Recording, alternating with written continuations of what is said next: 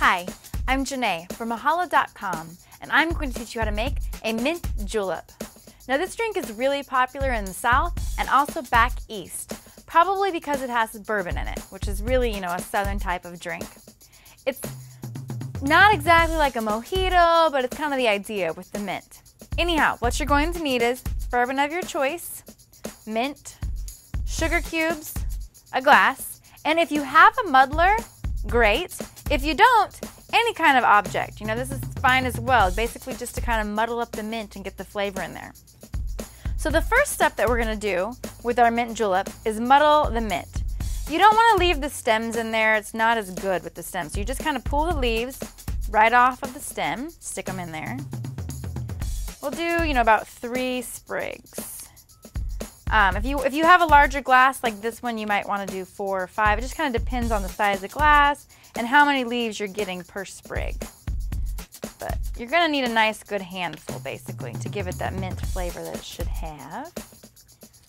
All right, there we go. So now we have all of our mint in there, so we can put this aside. We don't need any more. And then we need our sugar cubes. We're going to do two sugar cubes. Feel free to do three if you kind of want it a little bit sweeter. One. I like mine a little sweeter. So three. Now, if you don't have sugar cubes, but you do have simple syrup in your house, that works as well. You just need some kind of sugar to sweeten it up and kind of mix in with the mint. So we're gonna go ahead and mash all these sugar cubes up. Mash up the mint. Get it good and mashed all the way together.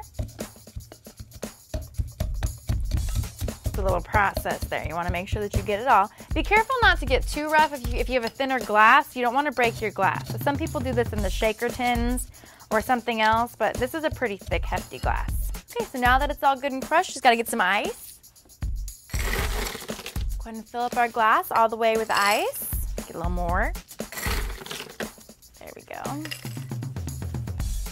Then you're going to put two ounces of your bourbon right in there. All right. And just to make sure it gets mixed up, kind of, you might want to go back and forth with the mint. You can choose to shake it up if you'd like, but sometimes I just toss it back and forth a few times.